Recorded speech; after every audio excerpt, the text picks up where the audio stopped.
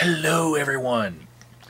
As many of you who follow my channel know, I recently became a delegate for the Republican Party for my precinct, and I'm a delegate for the congressional, the judicial, the county, and the state level.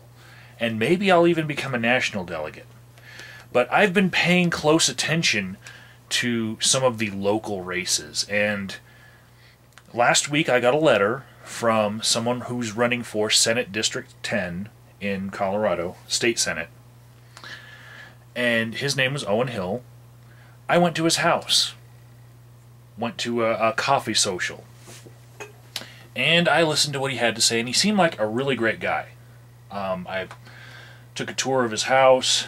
Um, I have his cell phone number. I can call him anytime and really approachable. Really, really approachable. His opponent, however, um, haven't gotten a letter from him yet, but I did get this postcard. And this postcard says, Why is Larry Liston called the hardest working man in elected office? Right? And then it's got this picture of worn out shoes. Right?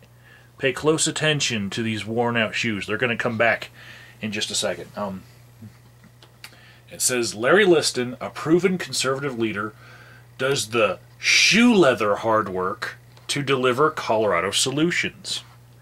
And then he says down in this paragraph Larry Liston's constituents know how hard he works because he has worn out countless pairs of shoes walking his district, going house to house, meeting people, and listening to our concerns.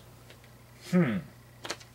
So, what I want to know is why is it that, you know, given that he has worn out countless pairs of shoes, why is it that with a simple Google search over here on my Googleator, I can find the same image of shoes with the same wear pattern on the shoes. Take a look at that. See, see those shoes right there? The same pair of shoes on a service called iStock Photo.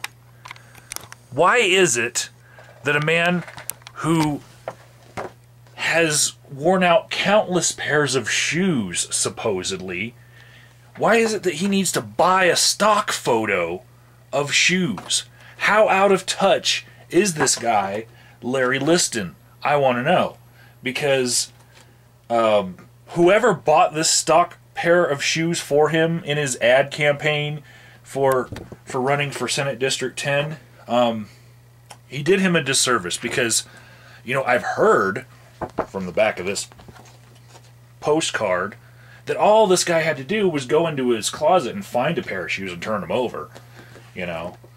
But uh, links in the description box to the same pair of shoes, wear pattern same and everything, that that are in Larry Liston's ad on his postcard.